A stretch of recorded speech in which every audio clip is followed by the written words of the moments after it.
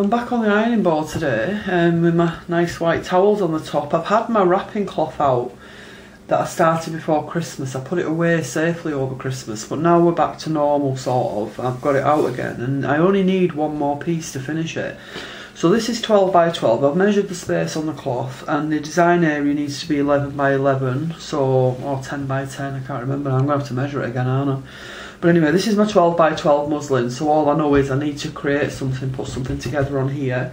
So I thought I'd do that today on camera, but before I do that, I wanted to talk to you about this.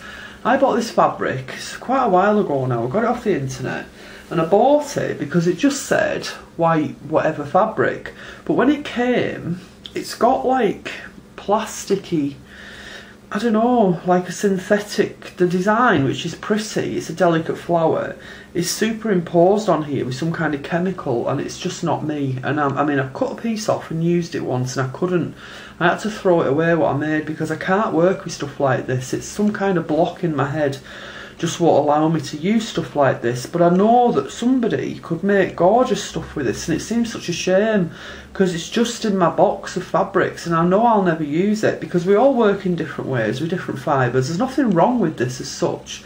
It's just it's not me, but it may well be you, and it may well be something you could use. And there's probably about um, I don't know, maybe a metre with just a square cut off, and I can't even press it because I don't want this stuff on my iron because I use my iron for my vintage lace and stuff. So that's another consideration for me. I don't want the chance of getting any of this synthetic stuff on my iron. But I'm not totally disrespecting it. I mean, it's beautiful. I just know I'm never going to use it in my work. So somebody can have this. So in order for me to decide who can have it, if you leave a comment today, I won't mention this on the blog, um, I'll just mention it in the video because I know not everybody watches the videos. Some people just come, look at the pictures, read what I write and go. Don't have time for the videos, whatever. That isn't a problem. But I won't mention it on the blog. But if you want me to put your name in a hat for this, um, for a draw, you get the whole lot, just one person.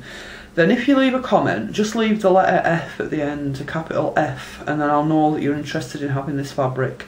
And then I'll draw that later in the week.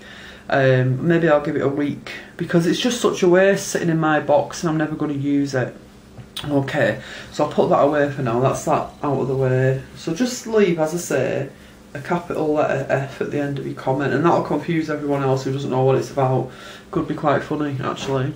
Right, so I just want to put this block together and I'm conscious of keeping it true to the fabrics I've used already. So I've gathered a few things here that had already been used in my cloth. I don't want. I got new fabrics when I went to London, etc. Didn't I? But I don't want to use them because I haven't used them in this particular cloth, and I want it to all be cohesive. You know, I want it all to run seamlessly with the same cloth.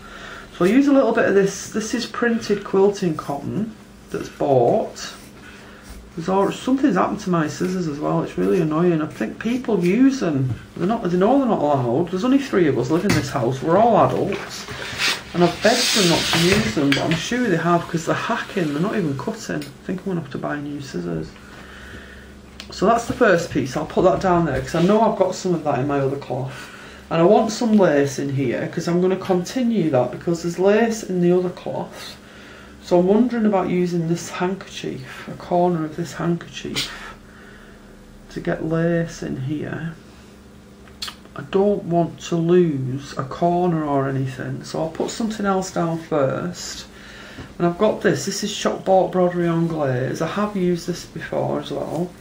This has been so used, you know I bought this, I bought loads of this to make a an Austrian, not an Austrian blind um, what was it, one of them pleated blind, a Roman blind from my bedroom but I've never made it because I don't know how and I can't. And I keep hoping a relative will come along and say, oh, I'll do it for you, Karen, but they haven't yet. I know who they are. They made them for their own house.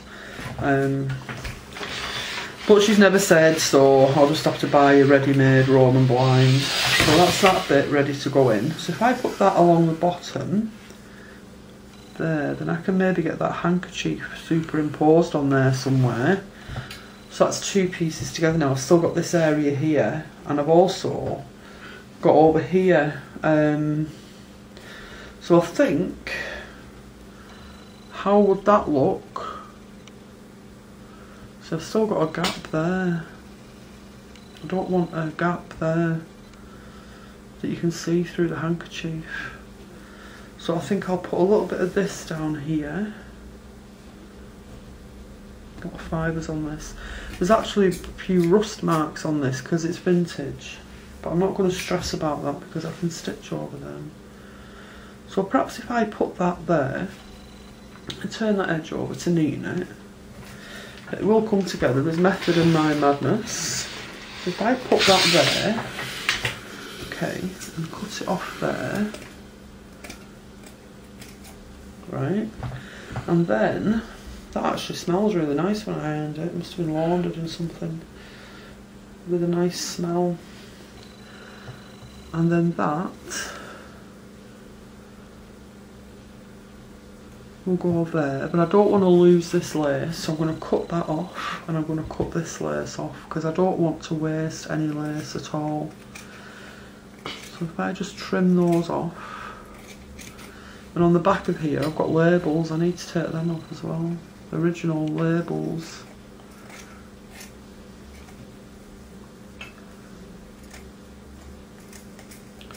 So I'll put that lace to one side and I'll use that again. I'll just take these labels off the back. They say Nottingham lace, all cotton, made in the UK. Unfortunately the paper labels, not cloth ones, or I would have left them on. Right, so that goes there. So then we've got a bit of an overlay going on here, so these can be left loose. That'd be quite a nice kind of like fringy thing. And then I've got a big space down here. So what I'm going to do, because I don't need anything overly fancy down there, because there's a lot of lace going on down there, I could put this on there, a strip of this, and there, that's the block finished when this is cut off. So I just need to pin this together now and we're good to go with the embellishment. And my piece that I've been working on that you've been seeing for ages, I was a bit conscious last night that I'm going to be boring you with that soon. So I have done more work on it, but I'll wait till I've progressed it a bit further before I put it back on my blog. So cut up there, I've got just a plain strip there that won't detract from that lovely lace edge and then I just need to pin them now and that's that block put together. So that was very quick. I mean we're on seven minutes. That's not bad. So this is going to be lovely when it's embellished and embroidered. So I'll turn off now but don't forget if you're interested in that fabric that I don't want to keep hold of then just leave the F at the end of your comment okay